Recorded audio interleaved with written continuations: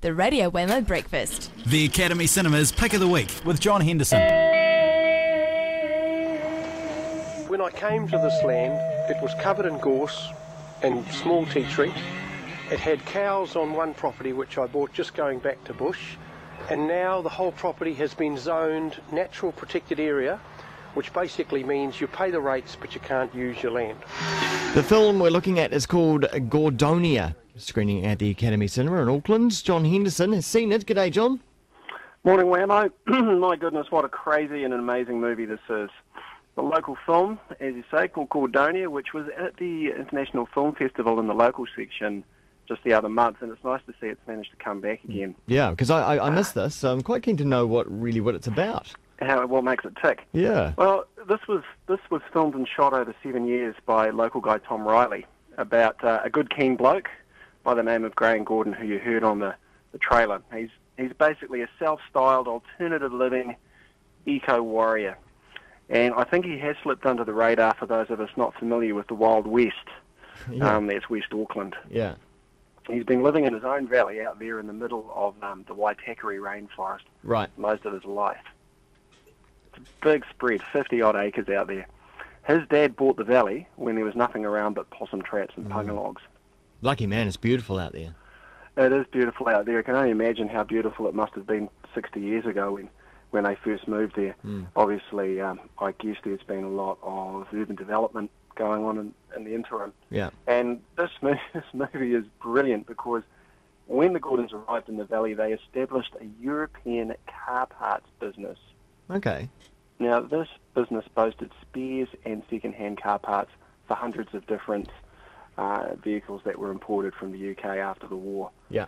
Before the rise of the Japanese import. So if you needed a wiper blade for the old Maxi or a hubcap for the, the Wolseley, Yeah. Gordon's European Spares was the place to go if you could find it. Right. it was stuck out there in this valley.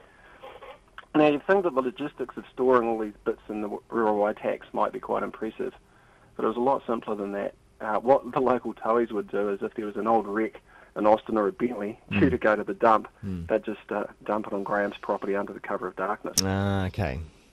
So there's some brilliant opening scenes in this film. Panoramic views of this lush, verdantly green Waitakere Valley and hundreds of rusting old car wrecks. So I'm, I'm not sure at this point whether I'm going to like Graham or not. well, he, he's a harmless enough guy, and at the start of the movie, there's this other old boy that comes out literally looking for a wiper blade for his mini. Graham's going, yeah, there's one over here under the, yeah, under the tea tree. Yeah, here you go. You need two. Yeah. No, I've only got one. Yeah. No, there's one here. No, you'll be right. No, 50 cents. That's fine. Yeah. so, you know, he's, he's, he's a harmless enough dude. I mean, we're talking 50 acres here. So there's plenty of space for old car wrecks and verdant rainforest. Yeah. Now, he is a collector of not only car wrecks, he's a very generous natured sort of a guy, and he's collected his uh, share of the homeless and disaffected over the years as well. Oh. They, they live out in this valley in equitable harmony and old house trucks and rough shacks. I mean, so it is like a little community, which I guess is where they got this name Gordonia from, Yeah.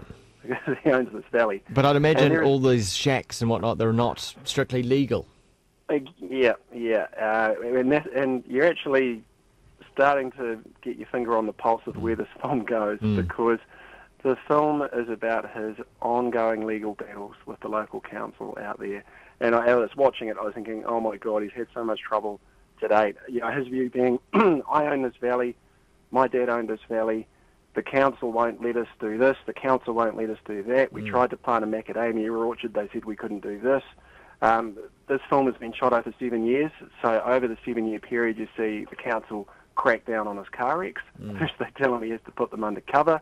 The next thing you know, the next year after he's done that, and it was quite a logistic feat because there were hundreds of these things, he's sort of um, put them under rudimentary tin sheds, etc. Um, every good keen bloke's dream. One shed, no, he's got about 50 out there. Yeah, of course. I- I- council, council goes, no, forget it. Um, you're going to have to get rid of the wrecks altogether. And while you're at it, you're going to have to get rid of all those people that are freeloading out there. You're charging them 10 bucks a week. That's illegal.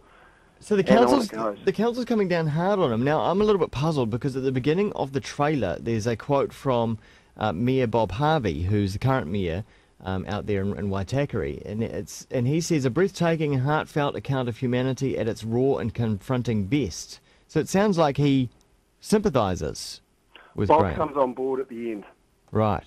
Um, Bob, Bob has basically had a guts full by the end of the film with uh, all his two ICs and flunkies going out there and laying down the laying down the law and, and opening a can of whip ass on Graham. okay. And Graham's been taken to court numerable times. He's about to go to jail. Near Bob steps in and says, "Look, why don't you and I just sit down and see if we can sort something out?" I think I remember Uh, seeing that in the news. Yeah. I, I mean, I, I was just thinking, my God, how is how is Graham going to cope in the super city? he'll Yeah. be just, Yeah. he'll be destroyed. Yeah, very good point. Well, um, it's obviously um, well worth uh, seeing a um, uh, and seeing the whole tale unfold. What would you give it out of five? Oh, it's the best documentary I think I've ever seen. I mean, certainly the most local. Gosh, I've been out to the Waitakere tramping so many times. I didn't even know this place existed. It's Yeah. great. It's five. Five out of five for me. Five out of five. Will you be visiting Gordonia? I'm going to try and find it, but I'm still not sure I, I need to go. I think you have to turn left at the Titirangi um, coffee shop or something. hey, thanks very much, John. Cheers, Wammo. Cheers.